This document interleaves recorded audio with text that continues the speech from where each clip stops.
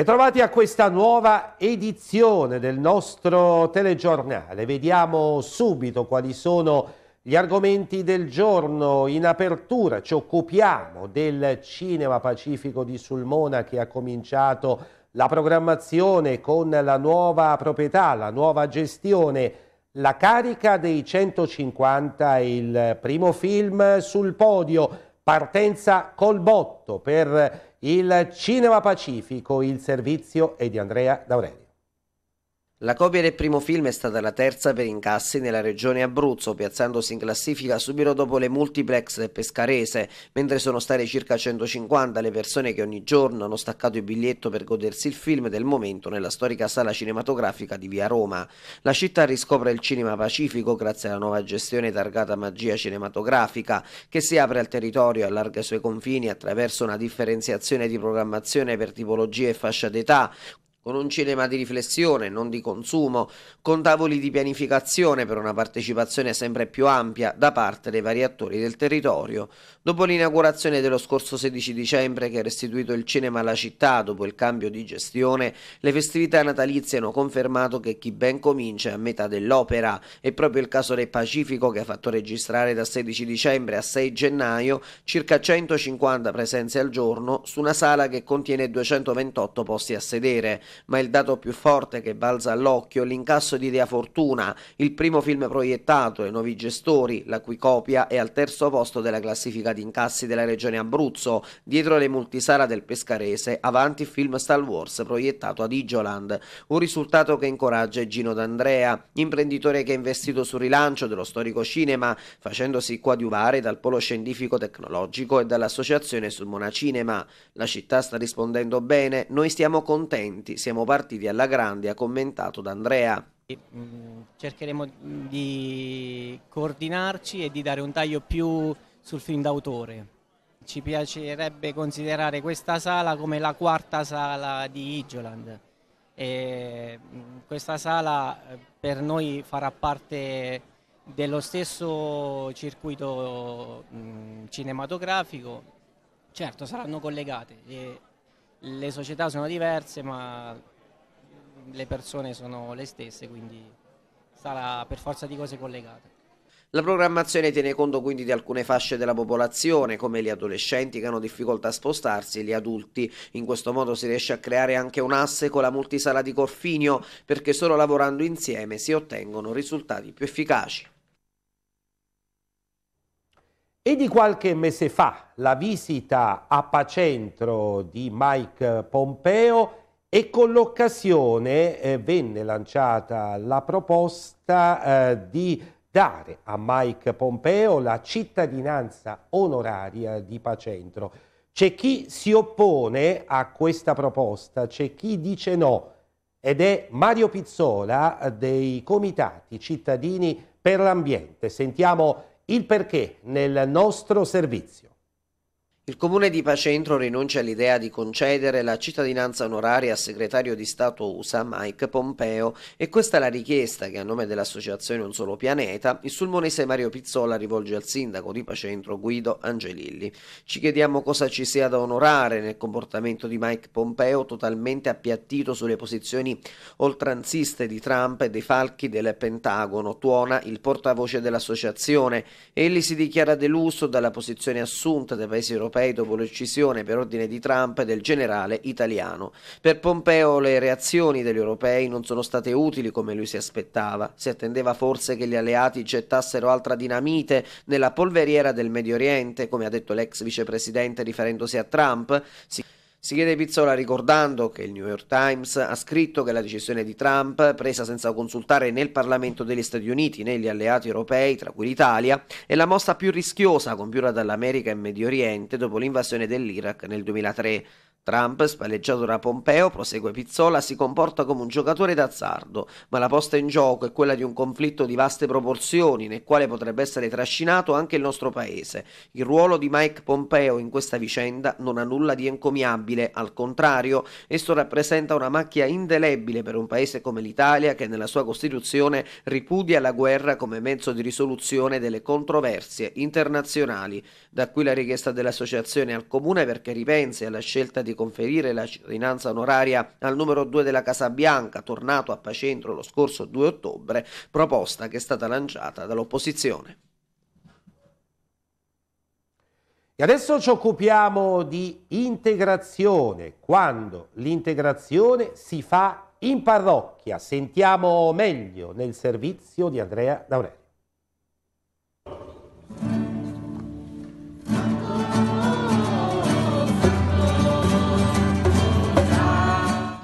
Boschi, modello di integrazione, perché includere si può, anche e soprattutto in parrocchia. La storia del 25enne originario del Senegal ne è una chiara dimostrazione. Boschi, richiedente asilo e ospite fino a qualche anno fa in una struttura di Roccaraso, è arrivato da qualche mese a Sulmona, nella parrocchia di Sant'Agata, alla chiesa di San Filippo Neri. Lì ha trovato il modo di esprimere al meglio il suo talento, di sentirsi valorizzato. Con il suo bongo, su invito del parroco Don Gilberto Squategui, è entrato a far parte del coro parrocchiale nell'epoca degli insulti razziali dilaganti e dell'ironia che proprio in questi giorni domina sul grande schermo e a Sulmona desta curiosità l'esempio di perfetta integrazione rappresentata da Kboschi. Il messaggio del Vangelo ci invita ad essere luce che scopre la bellezza dell'amore di Dio nei fratelli, scrivono dalla parrocchia. Akboschi si è avvicinato timidamente alla nostra comunità qualche mese fa e con grande gioia lo abbiamo invitato a far parte del nostro coro. Lui ha risposto sì, un sì gioioso e generoso perché ha arricchito il nostro coro con un piccolo bongo. Oggi la nostra comunità ha di donargli un nuovo bongo più grande. La reazione di Akboschi ci ha emozionato tanto, ci ha fatto capire che a volte sono i piccoli gesti, quelli più preziosi, straordinari.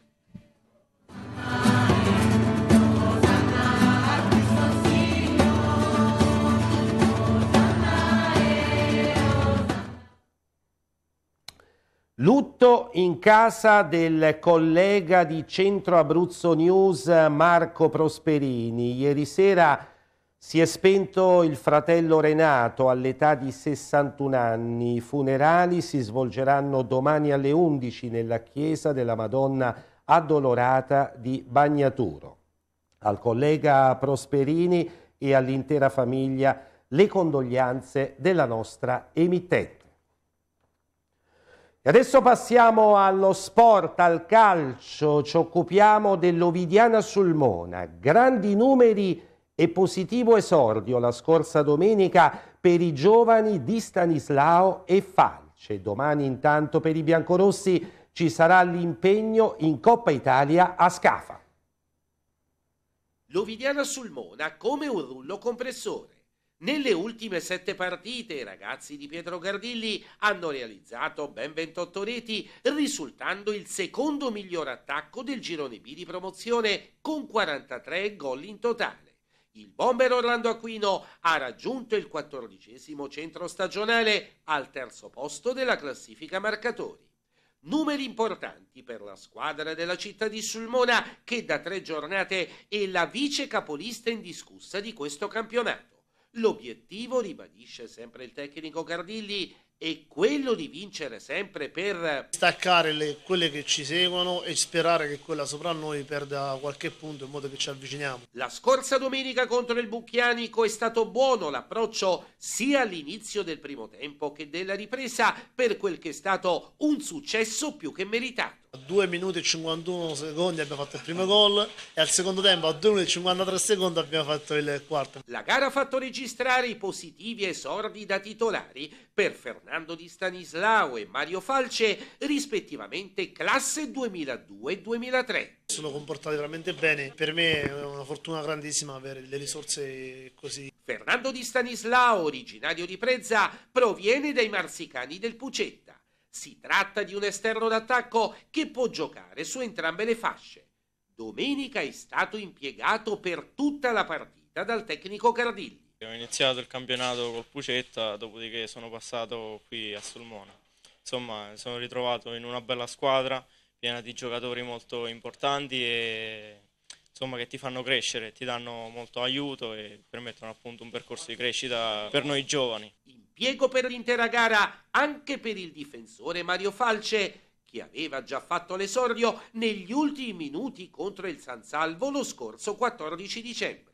Il giovane calciatore proviene dagli allievi dell'Olimpia Cedas. Sono stati anni molto importanti per la mia crescita e poi di diciamo subito dopo il settore giovanile sono stato molto contento di far parte di questo bellissimo gruppo. A proposito di esordi, c'è stato il debutto ufficiale in biancorosso per Michele Pio Marino che dopo 13 gol nello scorso campionato di eccellenza della Basilicata si appresta a far bene a Sulmona. Marino è un'altra pedina importante che si aggiunge allo scacchiere. Oggi abbiamo fatto giocare una mezz'oretta pure per vedere come sta fisicamente. Si vede da subito che le qualità ce l'ha. L'Ovidiana Sulmona domani scenderà nuovamente in campo per la gara di Coppa Italia in trasferta contro lo Scaffa Passo Cordone in virtù della vittoria contro l'Elicese per 3-0 nella prima partita del triangolare, ai biancorossi basterà un pareggio per passare il turno.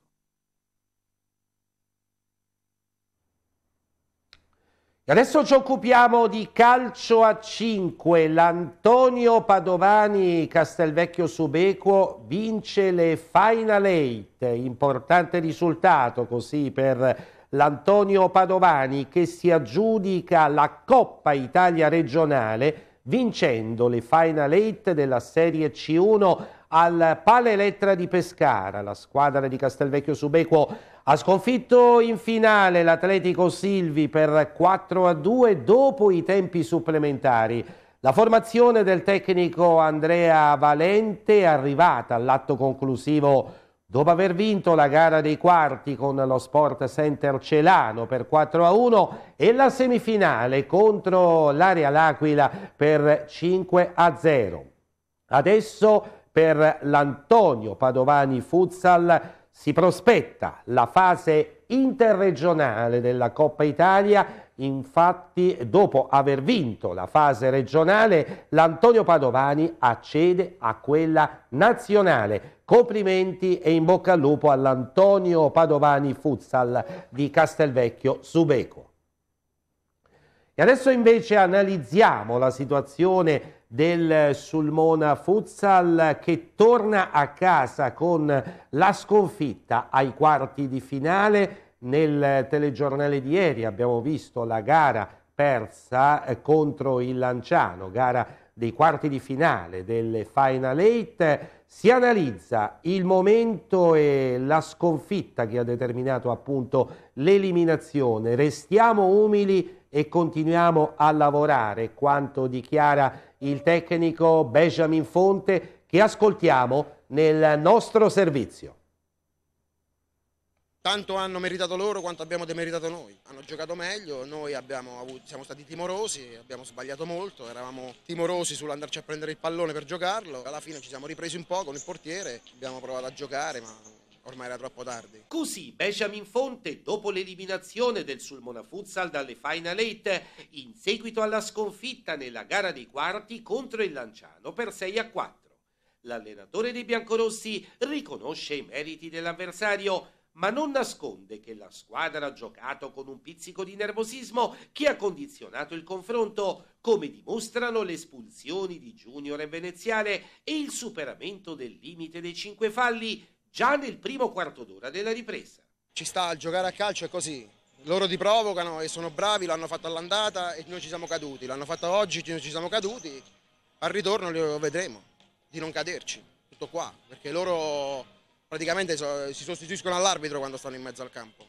Sono bravi a fare questo, magari avessi io giocatori così. Il futsal lanciano è stato sempre in vantaggio anche dopo la reazione del Sulmona con il gol di Veneziale sul 2-0. Dal ventesimo del secondo tempo le reti di Palladino, Porcu e Ginetti non sono servite per ribaltare la situazione. Noi siamo una squadra che abbiamo tante potenzialità e poi siamo capaci di, come dire, di mangiarci una montagna e di farci mangiare da una formica a volte, a volte è così, questo è il calcio, non ci si può eh, appellare a niente. Il Sulmona Futsal non è stato favorito nemmeno dai sorteggi, in quanto in caso di vittoria avrebbe affrontato in semifinale la vice capolista Atletico Silvi. I sorteggi sono stati fatti prima che si sapesse la griglia eh, di posizionamento del campionato. Eh, e quindi è giusto che sia così. Al di là della sconfitta, il tecnico Fonte valuta la partecipazione alle Final 8 al Pale Elettra di Pescara come un'esperienza importante che serve a crescere. Come prima apparizione in questo campionato di C1, già fare questa manifestazione non era affatto scontato. Non era detto prima dell'inizio del campionato che noi... Chi avrebbe scommesso di fare la finalette? Nessuno. Nessuno. Chi avrebbe scommesso che eravamo quarti? Nessuno. Siamo... Quindi dobbiamo ripartire da questo, cercando di rimanere più umili possibile e lavorando tanto, perché questo è un invito ai ragazzi che faccio. Ultimamente abbiamo lavorato un po' meno e quindi dobbiamo lavorare di più se vogliamo ottenere qualche risultato e qualche soddisfazione in più. L'attenzione del Sulmona Futsal torna adesso sul campionato e sulla prossima partita dell'anticipo in trasferta di venerdì 10 gennaio alle 21 contro le Schieti. Dopo il calcio, prima di concludere, come al solito, vediamo la programmazione cinematografica. Oggi giorno di chiusura settimanale per il Cinema Pacifico di Sulmone, quindi vediamo la programmazione alla multisala Igioland di Corfinio. C'è ovviamente il film eh, Tolo Tolo che viene proiettato in due sale, nella sala 1 gli orari sono 18 e 10 e 20 e 30, mentre nella sala 2 gli orari sono 17, 19 e 20 e 21 e 30. Gli altri film a Igioland sono Pinocchio con unica proiezione alle 18.10, Jumanji The Next Level, unica proiezione anche qui alle 21.10, quindi grande spazio per il film Tolo Tolo, anche alla multisala Igioland di Corfinio. È tutto per questa edizione del giorno del nostro telegiornale. Grazie della cortesa attenzione. Prossimo appuntamento con eh, l'informazione in diretta questa sera alle ore 20. Ci salutiamo con il meteo. Buona giornata a tutti voi.